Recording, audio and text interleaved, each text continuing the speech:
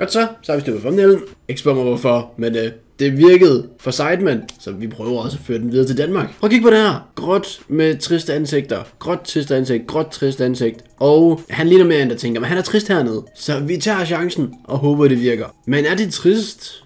På nogle måder er det. På andre måder er det ikke. Hvis det ikke allerede kan regne det ud. Jeg ved ikke, om det står i titlen, eller om vi går fuld clickbait. Det må, det må tiden vise. Altså, det er januar, så det kan ikke betale sig alligevel. Men lad os nu se. I dag, torsdag den 31. januar, er officielt min aller sidste dag i den her lejlighed. En lejlighed, jeg har boet i i... Åh, nu skal jeg tænke. Og det er jeg ikke god til generelt, så giv mig lidt to sekunder. Hvis jeg skal gætte, så vil jeg sige 15 år. Ja, ja mit bud er omkring 15. 15, måske 14? Jeg, jeg ved det ikke. Det er omkring. Der har jeg boet i den her lejlighed med min mor, og som I nok også ved, de sidste 10 år har jeg boet her med min kat, som ligger i vindueskarmen og sover nu. Er den ikke yndig? Men det er nu på tide for mig at prøve noget nyt. Og det bliver en kæmpe udfordring, og det er også ja, noget, jeg er spændt på, hvordan det kommer til at gå. Lidt nervøs er jeg selvfølgelig også, men altså hvis det hele det går helt galt, så laver vi bare en brohave. 248.000 visninger på at sidde og græde. Det er genialt. Men ja, helt seriøst, det bliver en udfordring. Jeg kommer sikkert til at blive udsat for det samme mentale ting, som Rasmus også var. Men værst af alt, det er nu, jeg for alvor skal være voksen med tøjvask, regninger, regninger, regninger, rengøring imellem blot mit eget værelse. Ah ja, jeg vil gerne sige, at jeg ser frem til det hele, men, men det gør jeg altså ikke. Jeg ser ikke frem til det hele. Men det er en del af det at blive voksen. Så ja, jeg flytter ud. Det gør jeg i morgen, den 1. februar, og det bliver et ren kaos. I kan godt se, at der er et tomt bag mig. Der står nogle flyttekasser, det ved jeg ikke, I kan se. Ellers så er de der. Og der skal flere flyttekasser, plus jeg har hele mit setup her, øh, som jeg ikke har pakket ned endnu. Så ja, det bliver fedt. Men så er der selvfølgelig masser af spørgsmål. Alle de der HV-ord. Hvor, hvorfor, hvordan, hvornår, hvem, hvad, alt det der. Jeg har fået svar på noget af det allerede. Hvorfor? Lidt har jeg fået svar på, fordi nok bare det er tid. Men også fordi, at det var lidt mulighed, jeg ikke kunne sige nej til. Og hvis vi så hopper videre til hvor. Vi kan starte med, hvor jeg er nu. Jeg er i Greno, som ligger på næsen af Danmark, er det, det bliver kaldt. Og så skal jeg flytte til Fredericia. Og som I kan se, så er der ret meget forskel for at bo herude på næsetippen, og så ned her lige på den anden side af broen mellem Fyn og Jylland. Her ligger Fredericia. Så der er ret langt samtidig, så det bliver også fedt, når man skal hjem. Men grund til, at det lige præcis blev byen Fredericia, bare hvis man kigger på den, hvor den ligger henne, så ligger den bare så centralt, som man stort set kan komme. Så måske det her område, det er sådan det mest centrale, jeg kunne komme. Og det er følt, der ligger bedst til mit arbejde, som er YouTube. Og ja, inden vi sådan går videre med, hvorfor Fredericia, så kan jeg ligesom ikke rigtig komme udenom, at grunden til, at jeg har mulighed for at flytte, selv bestemme, hvor jeg vil flytte hen. Og jeg skal ikke bo i et skur. Jeg skal heller ikke, jeg skal ikke bo i et villa, okay? Det, det er stadig sådan, det er fin størrelse, det er ikke for meget. Det vil aldrig være sket uden jer. Havde jeg ikke haft jer, havde jeg ikke haft YouTube, så stod den nok på noget læseri i Aalborg eller Aarhus eller sådan noget andet. Nu har jeg frit valg for alle hylder, har et drømmearbejde, som jeg ikke ser som et arbejde, jeg ser det som en hobby jeg har mulighed for at leve af. Og jeg, jeg kan ikke takke jer nok, men ja, det kunne jeg sidde og sige i, ja, fra nu af til påske. Jeg tror stadig ikke, det var nok så ærligt. Tusind, tusind tak, at I har givet mig den mulighed. Det er for sygt. Og nu skal jeg også give tilbage. Endnu mere, end jeg har gjort. Og det er det, jeg håber, det her det kan gøre. Fordi hvorfor helt præcis Fredericia? Det ligger ret langt væk. Ja, det ligger lidt i midten, hvis jeg for eksempel skal over til København, eller hvis jeg skal Aalborg, eller hvis jeg skal Esbjerg selv hvis jeg skal til grænsen. Men der er en helt specifik grund til, hvorfor det helt præcis blev Fredericia. Og det var egentlig ikke mig, der valgte det. Det var nemlig min roomie. Ja, jeg bor ikke alene. Det er jeg simpelthen ikke ansvarlig nok til. Og min roomie, nogle af jer ved det sikkert allerede i forvejen, det bliver ingen andre end Lagen. Denne video den uploadet den 29. januar 2017. Vi har den 31. i dag, det vil sige det er stort set præcis to år siden. Jeg så yndig ud dengang, og det var samtidig den første gang nogensinde jeg mødte Lagen, hvor han så sådan her ud. Han er ikke yndig, jo, yndig. Hvem havde troet, at det var starten på et langt og smukt venskab, der to år senere, nærmest på dagen, skulle resultere i, at vi flyttede sammen?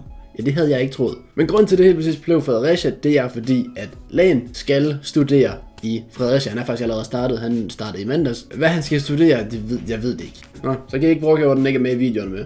Ironisk nok for sidste gang. Det er noget med noget smed at gøre. Maskine eller andet, tror jeg. Jeg ved det ikke. Mit bud det er noget, der hedder maskinmester. Men det skal han studere i Fredericia, og det vil ligesom kræve, at han flytter ned. Og så spurgte han, vil jeg flytte med? Og så er jeg sådan, ja, hvorfor ikke? Det tog noget, en del tid at tænke over, men jeg kunne bare ikke rigtig til nogen grund til ikke at gøre det. Derudover så ligger Fredericia også et rigtig, rigtig godt sted for mig i forhold til omgivelser. Selvfølgelig hvis jeg flytter til Fredericia, ja, så vil jeg bo tæt, lidt for tæt desværre, på lagen, det vi som bor sammen. Men derudover så bor en af mine rigtig gode venner, Lasse Bækkelund, bor også i Fredericia, og han bor ret tæt på, hvor vi bor. Så ham kommer jeg nok til at være en del hos. I kommer til at se ham i mine videoer, jeg kom, I kommer til at se mig i hans videoer, og så videre. Men ikke blot videoer, selvfølgelig også bare det der i fritiden, hvor man er sammen med folk og så videre. Så er det allerede på stykker i Fredericia, så har jeg Kolding, jeg har Vejle, jeg har Odense. De der byer rundt om Fredericia, der kender jeg folk stort set de alle sammen. Og nu, mens jeg bor i Greno, hvor jeg har 8 år ned til alle dem her. Så ser jeg dem bare ikke specielt tit, men det ændrer sig nu, og det glæder jeg mig virkelig meget til. Men hvad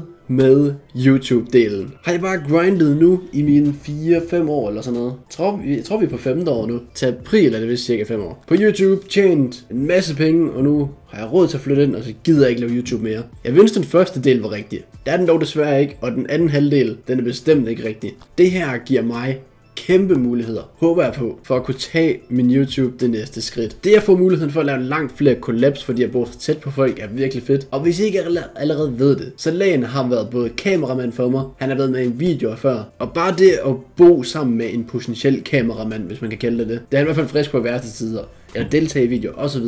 Det giver også bare langt flere muligheder så man kan begynde at være kreativ. Derudover så er jeg også min egen mor nu. Der er ikke faste tidspunkter, hvor der skal spises. Det kan jeg variere efter, hvornår jeg laver videoer osv. Så, videre. så kan jeg bruge mere tid, mere energi på videoerne, gøre mere ud af dem, og samtidig flere variationer af videoer, som jeg har set virkelig meget frem til. Så det ikke bare står på Foot James Gameplay, Draft, Rewards, og en enkelt anden video, og så vil vi på de der fire videoer om ugen. Der kommer forhåbentlig mere. En masse anderledes. Og ja, hvem ved? JK Gaming. Jeg, jeg siger bare, den kanal, den har 16.000 subscribers eller sådan noget. Og jeg poster ikke derpå. Og det kommer til at ændre sig. Fakt, det gør det. Måske ikke lige til at starte med, men det kommer til at ændre sig. Så jeg kan ikke gå udtryk nok for, at det her er en mulighed, jeg ikke kunne sige nej til. Noget, jeg ser utrolig meget frem til. Og noget, der virkelig burde hjælpe min kanal utrolig meget. Og selvom FIFA det er nok allerede nu på vej ned. Så jeg skal også selv gøre et stykke arbejde. Men oplevelsen er selvfølgelig også en del af det, og den ser jeg også frem til at prøve. Så ja, jeg håber, I vil join mig på den her rejse, oplevelse, der var jeg ved ikke hvor lang tid.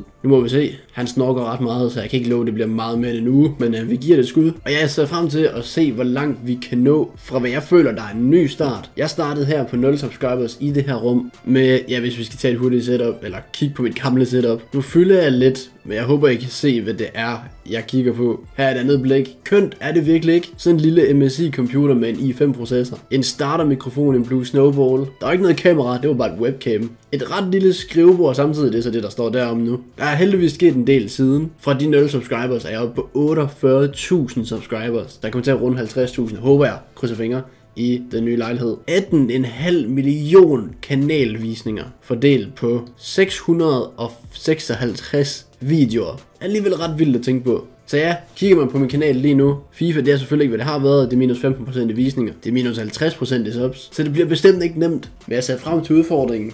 Forhåbentlig kan jeg kæmpe mig op, for det vil selvfølgelig være ærgerligt, hvis jeg lige præcis flytter ud, og så fungerer YouTube bare ikke længere, fordi FIFA det dør fuldstændig. Det håber jeg ikke bliver tilfældet, det er et sats det her. Men med jeres hjælp, så burde det ikke blive noget problem. Jeg glæder mig i hvert fald til at komme i gang, nærmest for mig start helt forfra. Jeg ved ikke, at det lyder underligt, men det, det er sådan, jeg har det. Der skal købes mange nye ting, hvilket også bliver en dyr fornøjelse. Jeg håber, alt kommer til at fungere øh, som det skal ret hurtigt. Jeg ved, den første weekend, der er ikke net, det vil sige, der er ikke nogen stream. Og når man snakker om streams, det kommer der også til, til at være meget mere af. Så den kan jeg også følge, længe beskrivelsen. I kan følge mig alle steder, stort set. Nu hvor jeg skal sælge audio. Jeg håber, der kommer styr på det hele. At vi får net forholdsvis hurtigt. At alt bare generelt kører, så der ikke er nogen problemer, som ikke skal sidde og stress med det. For det er simpelthen bare, at det er ikke noget, jeg magter der skal igennem. Så jeg håber, I kan bære over med mig, hvis der ikke kommer vildt mange videoer lige til at starte med. Når det hele kører, så lover jeg, at der nok skal komme masser af videoer. Jeg allerede begyndt at skrive idéer ned. Og ja, en af dem, det er selvfølgelig en house tour, apartment tour, lejlighedstur, setup tour, jeg ved ikke hvad det bliver til. Men min plan er, at det bliver altså en 50k sub special.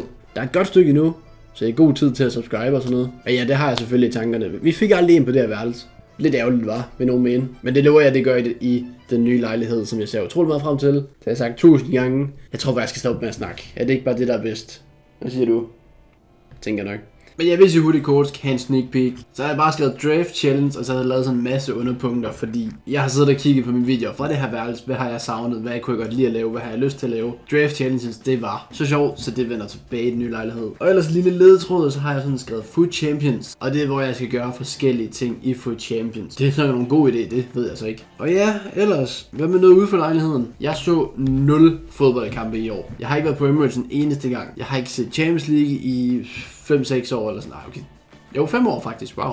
Den er helt gal. Så det, jeg skal også prøve noget ude for lejligheden, som ja, I nok også skal forsøge på YouTube. Det er måske ikke den her video, man skulle snakke om det. Men det er bare for at få det nævnt, hvilket content jeg sådan har planlagt. Eller i hvert fald har i hovedet, at jeg kan lave. Men øh, det kunne jeg snakke om fra nu af til påske, og så fra påske til jul. Jeg har masser af idéer, så det skal I ikke bekymre jer om. Jeg glæder mig bare til at komme i gang med det hele. Og ja, nu skal jeg nok stoppe og snakke. Men ja, det bliver alt for den her video. Om det er en trist video, om det er en glædesvideo, det er et godt spørgsmål. Lidt en blanding. Men lad os tænke positivt, og lad os tænke det selvfølgelig, så det er jo en god ting. Men det bliver også mærkeligt. Så ja, hvis du alligevel ser frem til mit nye eventyr, vil join mig på min nye oplevelse i mit nye liv, så smid et stort like på den her video. Ja, subscribe hvis I er nye, så I kan klippe af alt det, der skal ske i fremtiden. Og så ses vi næste gang.